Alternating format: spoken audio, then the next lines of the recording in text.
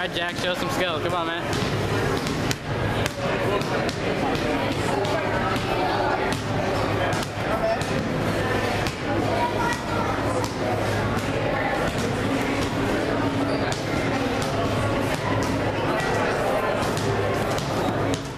Oh my god.